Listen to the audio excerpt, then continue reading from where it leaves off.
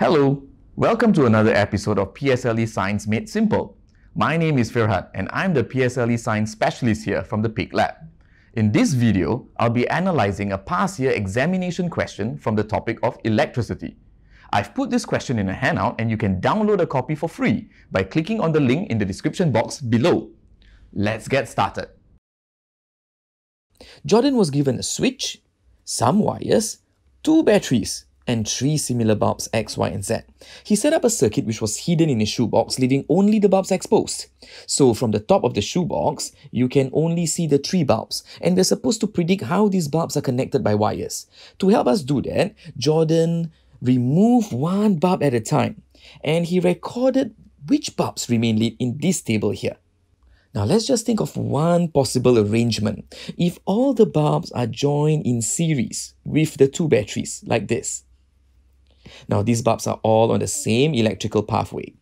If I were to remove one bulb from the circuit, like this, will any remaining bulbs light up? No, they cannot, as removing the bulb like this will create an open circuit and electricity is not able to flow through the other bulbs. We will not have any other bulbs lit up, like what Jordan observed in his table here. So we know that the series arrangement is not a possible answer. Let's erase this. So when Jordan removed bulb X, like this, he observed that bulb Y remained lit.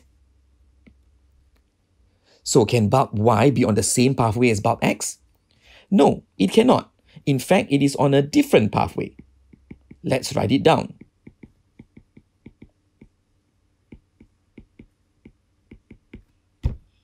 Now let's erase this for the next bulb that Jordan removed. When he removed bulb Y, like this, both X and Z remain lit. So, are X and Z on the same pathway? Yes, they are definitely on the same pathway. Let's write it down. Now, when Jordan removed bulb Z, like this. He observed bulb Y remain lit.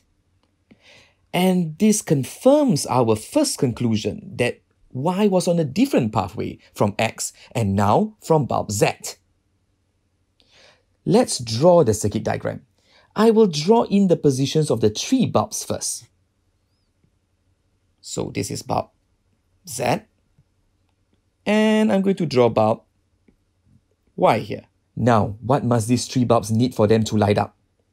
Yes, they need batteries as a source of electricity, and the question states that two batteries are given. So I'm going to draw two batteries at the side here. Now let's connect the bulbs with wires. Remember, X and Z are on the same pathway, so let's join them with one wire first. And what about bulb Y? Bulb Y was on a different pathway, so I'm going to use a different wire to connect bulb Y. Now let's link up all three bulbs with the battery. And we get our arrangement like this.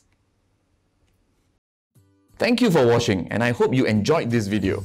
If you found this video useful, do give us a thumbs up. If you want to check out the other videos, click on the links on the right hand side. And finally, don't forget to subscribe to our channel for more interesting videos. Thank you and I'll see you next time. Bye!